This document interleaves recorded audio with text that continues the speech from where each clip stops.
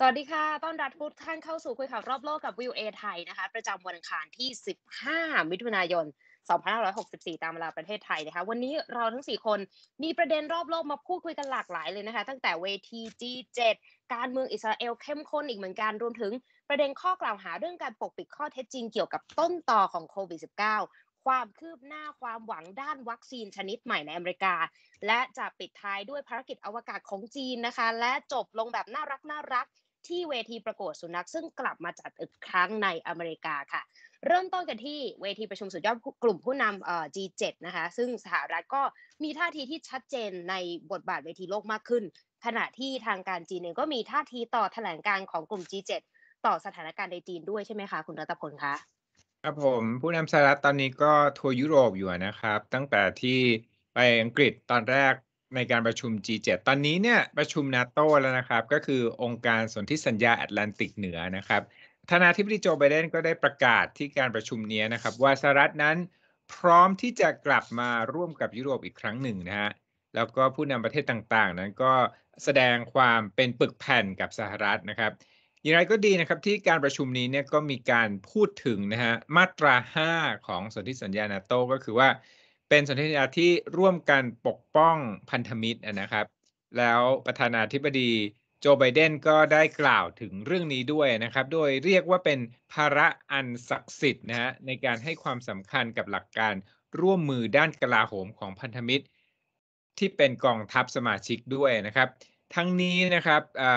เลขาธิการนาโตซึ่งก็คือพลเอกเยนส์ สโตเรนเบิร์กเนี่ยสโตลเตนเบิร์กเนี่ยได้กล่าวนะครับว่า นาโต้นั้นตระหนักดีว่าสหรัฐและยุโรปยังเป็นพันธมิตรที่พึ่งพากันได้นะฮะแล้วก็เปิดเผยครับว่าในการประชุมนาโต้สัปดาห์นี้เนี่ยยังมีหัวข้ออื่นด้วยในนอกจากเรื่องความสัมพันธ์ของประเทศสมาชิกนั่นก็คือเรื่องของความท้าทายจากจีนแล้วก็รัสเซียนะครับ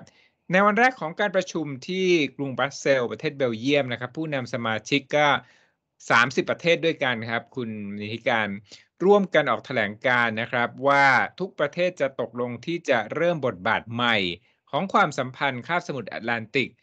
ขณะที่ทุกฝ่ายนั้นก็เผชิญกับบรรยากาศด้านความมั่นคงที่ซับซ้อนต่อเนื่องนี้ อยู่ในเครื่องหมายคำพูด ซึ่งก็คงจะหมายถึงจีนกับรัสเซียนั่นเองนะครับ แม้ว่าผู้นำนาโตทั้ง 30 ประเทศพยายามที่จะหลีกเลี่ยงการเอ่ยปากเรียกจีนเป็นคู่แข่งนะครับ ในการประชุมสุดยอดครั้งนี้ แต่ว่าก็ได้แสดงความกังวลนะฮะถึงสิ่งที่เรียกว่าเป็นนโยบายขู่เข็นบังคับของจีนนะที่อ้างถึงการปรับปรุงความสามารถของกองทัพทหาร แล้วก็การใช้แนวทางการเผยแพร่ข้อมูลบิดเบือนต่างๆ ของจีนนะครับ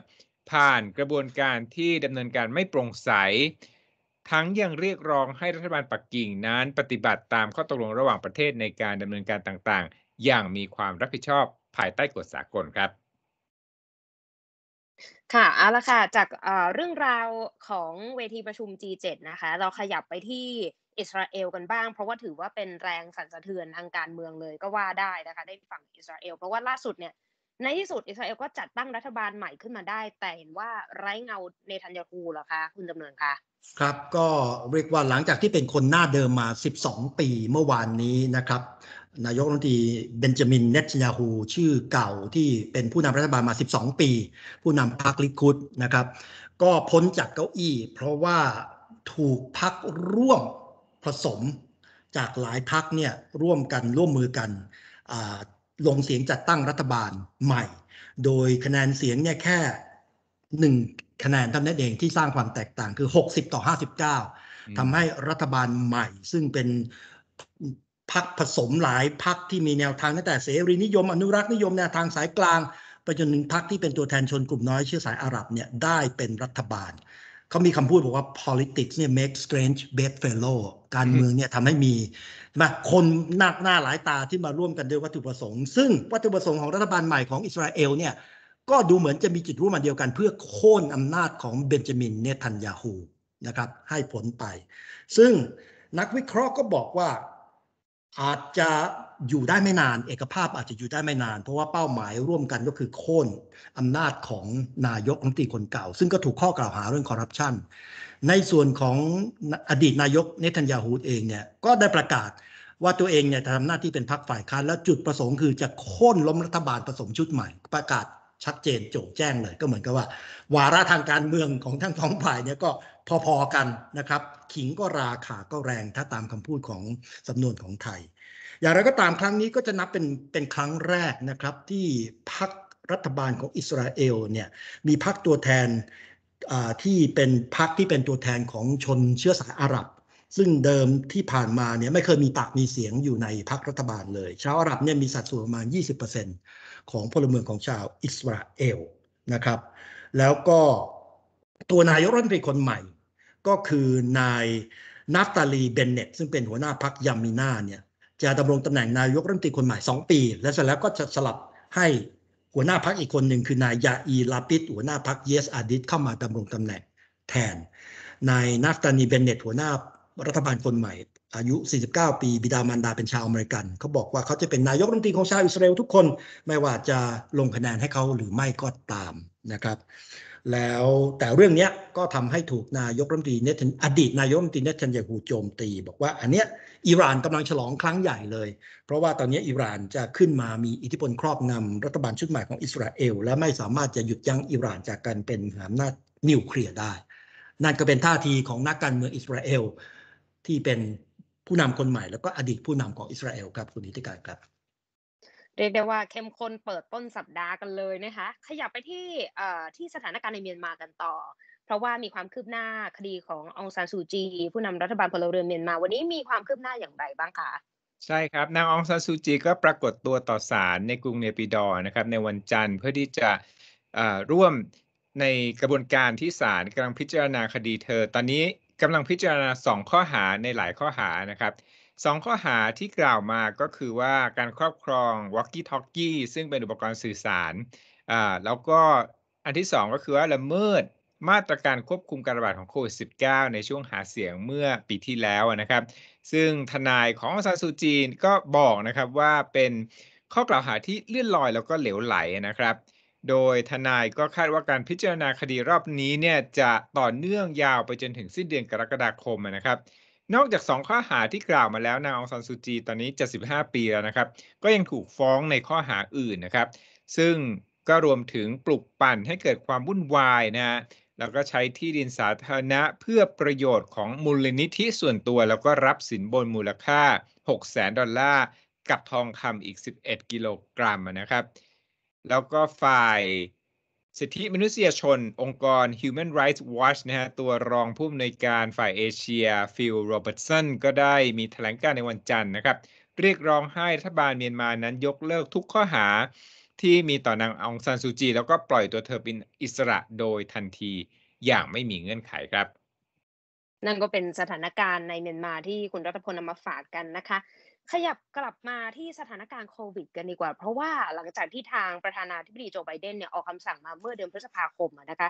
บอกว่าให้หน่วยข่าวกรองของสหรัฐเนี่ยสรุปรายงานคือตั้งเป้าไว้ว่าภายในสามเดือนเนี่ยเราจะต้องมีรายงานออกมาว่า ต้นตอของไวรัสโควิดเนี่ยมันเป็นยังไงมายังไงถูกสร้างขึ้น หรือว่าหลุดออกจากห้องปฏิบัติการ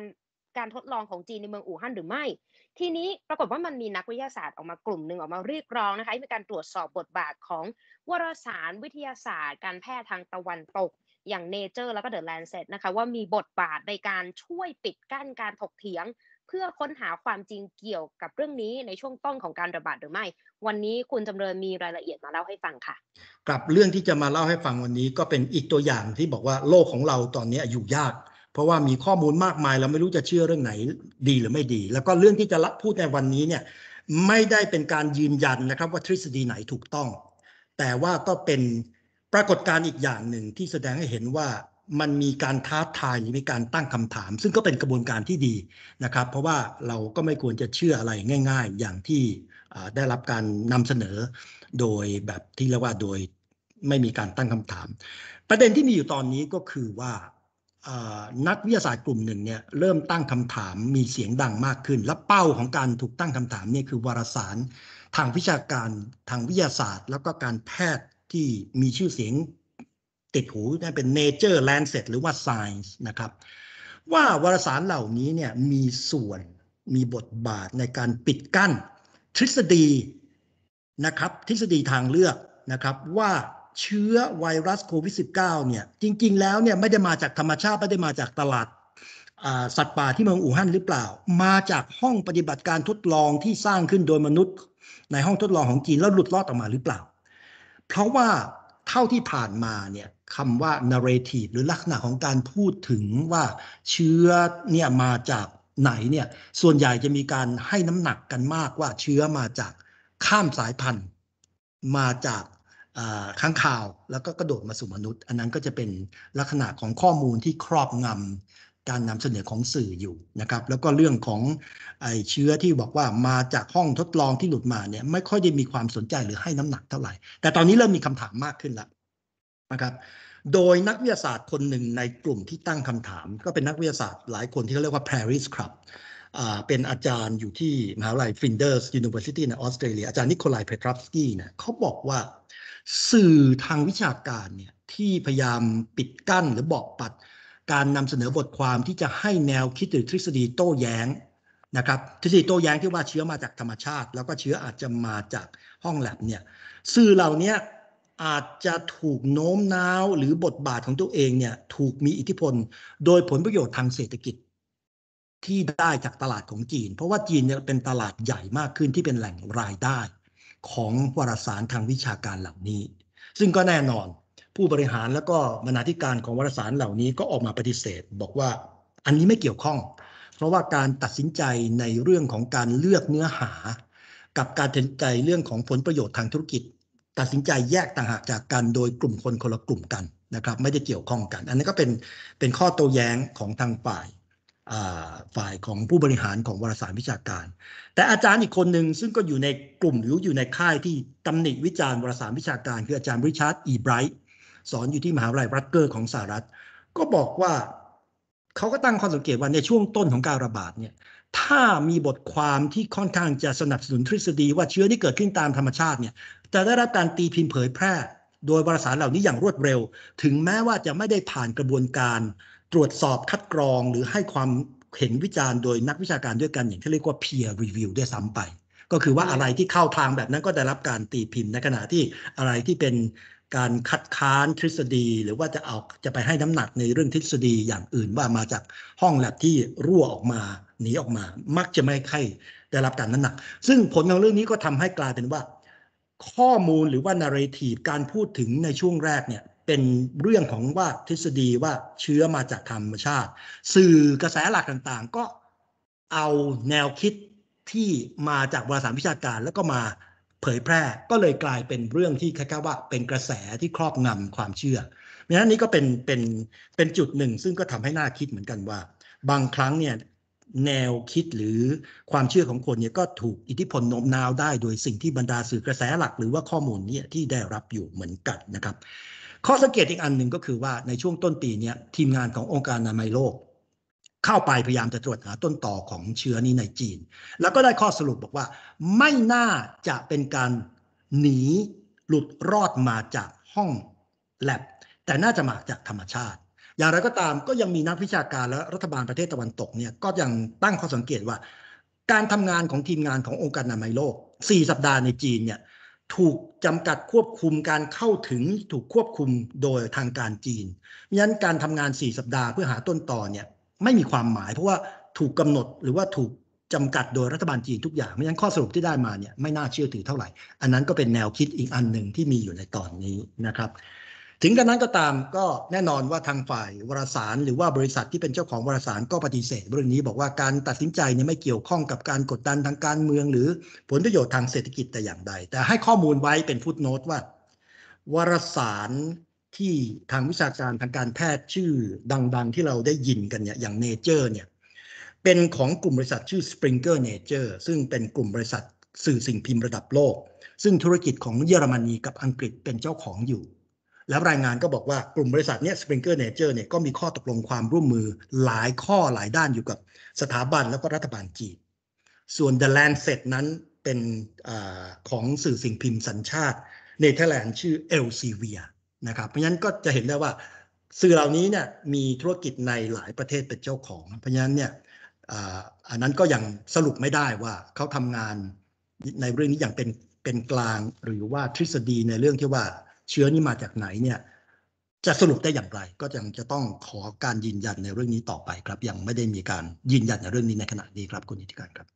ยังคงเป็นประเด็นที่เราต้องติดตามกันต่อไปนะคะเอาละค่ะมาที่เรื่องของความหวังด้านวัคซีนโควิด ชนิดล่าสุดในอเมริกากันดีกว่านะคะ เพราะว่าทาง Novavax ซึ่งอยู่ในรัฐแมริแลนด์ของสหรัฐไม่ใกล้ไม่ไกลจากเราเนี่ยนะคะก็มีคำประกาศเมื่อวันจันทร์ว่าผลการทดลองวัคซีนโควิด เฟส3นะคะแสดงให้เห็นว่าวัคซีนของบริษัทนั้น มีประสิทธิผลมากกว่า 90%ในการป้องกันการติดเชื้อโคโรนาไวรัสที่เป็นสาเหตุของโควิด -19 นะคะ และมีประสิทธิผลสูงในการป้องกันเชื้อไวรัสกลายพันธุ์ด้วยนะคะ รายงานของ Novavax นั้นระบุว่าการทดสอบครั้งนี้ทำในทั้งสหรัฐและเม็กซิโก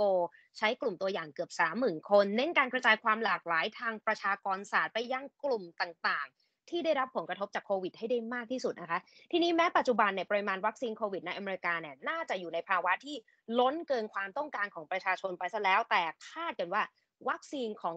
โนวาแวคนี้เนี่ยจะมีบทบาทสำคัญค่ะ ต่อประเทศกำลังพัฒนาทั่วโลกนะคะ ที่ต้องการวัคซีนให้ถึงมือประชาชนอย่างครอบคลุม และทั่วถึง เพราะว่าวัคซีนของ Novavax นั้นสามารถที่จะจัดเก็บแล้วก็ขนส่งได้ง่ายนะคะเมื่อเทียบกับวัคซีนตัวอื่น ทีนี้ CEO ของ Novavax เนี่ยให้สัมภาษณ์กับ AP ด้วยว่าเป้าหมายของบริษัทก็คือ การจัดส่งวัคซีนชุดแรก ๆ ไปยังประเทศรายได้ต่ำและรายได้ปานกลางซะก่อนนะคะ โดย Novavax จะทำเรื่องขอรับอนุมัติการใช้วัคซีนกับทางสหรัฐ ในช่วงไตรมาส 3 ของปีนี้นะคะ ตั้งเป้าว่าจะผลิตได้ราว 100 ล้านโดสต่อเดือน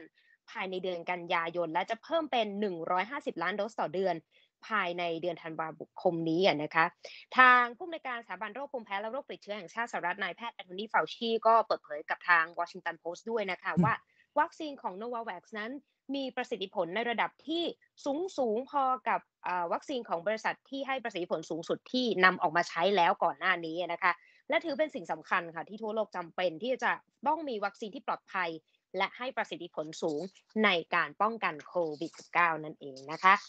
เอาละค่ะ ไปที่เรื่องราวของอวกาศกันบ้างนะคะ ไม่นานมานี้ค่ะจีนสร้างปราสาทด้วยการนำยานสำรวจลงจอดบนดาวอังคารได้สำเร็จ และถือเป็นก้าวสำคัญของจีนนะคะ แล้ววันนี้คุณคมสันมีรายละเอียดเกี่ยวกับประเด็นนี้ แล้วก็ก้าวต่อไปของภารกิจอวกาศของจีนด้วยใช่ไหมคะครับคุณนิติการครับ ข่าวการเดินทางไปสำรวจอวกาศมีมาให้เราได้ยินมากขึ้นในช่วงนี้นะครับ ล่าสุดมีความคืบหน้าจากทางประเทศจีนครับที่สามารถนำยาลงจอดที่ดาวอังคารได้สำเร็จเป็นครั้งแรกสำนักข่าวซินหัวครับรายงานช่วงกลางเดือนพฤษภาคมที่ผ่านมาถึงความสำเร็จที่โครงการอวกาศของจีนครับส่งยานเทียนหวนหนึ่งไปลงจอดที่ดาวอังคาร ซึ่งนับเป็นก้าวย่างที่สำคัญของด้านอวกาศของจีนเลยทีเดียว ก่อนหน้านี้ครับแม้ว่าประเทศจีนจะเคยส่งยานสำรวจไปที่ดวงจันทร์มาแล้วนะครับแต่ว่าภารกิจไปดาวอังคารนั้นมีความท้าทายมากกว่า โดยเฉพาะประเด็นด้านการบังคับยานให้ลงจอด ยานอวกาศที่ส่งไปครับจำเป็นที่จะต้องออกแบบมาอย่างถี่ถ้วน ต้องมีอุปกรณ์พิเศษนะครับเป็นฉนวนกันความร้อนขั้นสูง มีระบบจรวดพิเศษเพื่อชะลอความเร็ว รวมถึงร่มชูชีพนะครับที่ใช้ในการลดแรงกระแทกขณะที่ลงจอดยานอีกด้วย ในรายงานนี้ครับเล่าถึงรายละเอียดเพิ่มเติมว่าในยานเทียนหวนหนึ่งได้นำพาหนะ6ล้อนะครับน้ำหนักราวๆ 240 กิโลกรัม พาหนะตัวนี้เรียกกันว่ายานโลเวอร์สำรวจนะครับ พูดให้เข้าใจง่ายๆ ก็คือตัวที่คล้ายๆกับรถบังคับนะครับที่เราจะติดตั้งทั้งเรดาร์เลเซอร์ แล้วก็เซ็นเซอร์ต่างๆ เพื่อที่จะส่งออกไปทำการสำรวจภาคพื้นผิวของดวงดาวต่างๆ ยานสำรวจพื้นผิวที่ประเทศจีนส่งไปลาดตระเวนบนดาวอังคารนะครับเขาตั้งชื่อว่าจู้หลงครับโดยชื่อนี้ได้มาจากเทพเจ้าแห่งไฟตามความเชื่อของคนจีน กระบวนการคร่าวๆในการสำรวจดาวอังคารครั้งนี้นะครับก็คือทางจีนครับส่งยานอวกาศเทียนเวิ่นหนึ่งออกไปราวๆ 7 เดือน เมื่อไปถึงบริเวณที่ราบทางตอนเหนือของดาวอังคารนะครับเขาเรียกโซนนี้กันว่า Utopia Planitia เมื่อไปถึงแล้วก็จะปล่อยตัวพาหนะ6ล้อจู้หลงครับลงไปสำรวจภาคพื้นดิน พอเก็บข้อมูลเสร็จก็จะส่ง Data นะครับผ่านมายังเทียนเวิ่นหนึ่งก่อนที่จะส่งข้อมูลดังกล่าวนั้นกลับมายังพื้นโลก คำถามสำคัญคือเขาสำรวจอะไรบนดาวอังคารกัน นอกจากการค้นหาสัญญาณของสิ่งมีชีวิตนะครับ ทางด้านนักวิทยาศาสตร์เกี่ยวกับดาวเคราะห์ที่สถาบัน Institute of Radio Astronomy ที่ชื่อว่าโรเบโตโอโลเซนะครับจากประเทศอิตาลี ให้สัมภาษณ์ไว้ในนิตยสารเนเจอร์ระบุว่า การศึกษาครั้งนี้จะช่วยให้มนุษย์ของเรานะครับเข้าใจถึงความรู้เชิงโครงสร้าง โดยเฉพาะประเด็นชั้นดินเยือกแข็ง หรือที่ศัพท์ในแวดวงวิชาการใช้คำว่า permafrost ครับ สิ่งนี้จะทำให้เรานั้นรู้ถึงแหล่งน้ำบนดาวอังคาร